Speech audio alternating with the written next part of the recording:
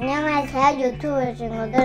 오늘 이걸 해볼 거예요. 나비고기를 만들어 볼 거예요. 아, 누구 친구예요, 나비고기는? 이거 신혼가의 친구인데요. 그래요? 네. 한번 만들어 보세요. 오늘 어떻게 하는지 설명드릴게요. 근데 설명서가 있어요 이거는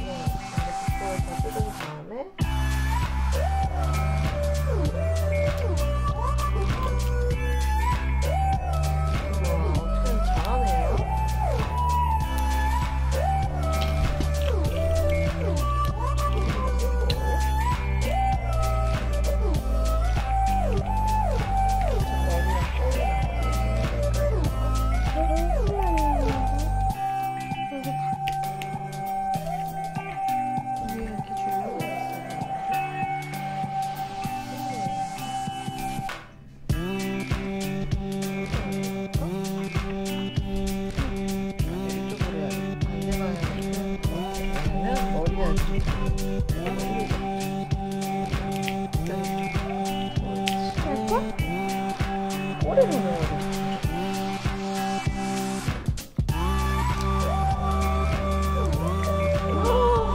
엄청나게 빠른 속도로 완성됐네요. 바로바로 나비고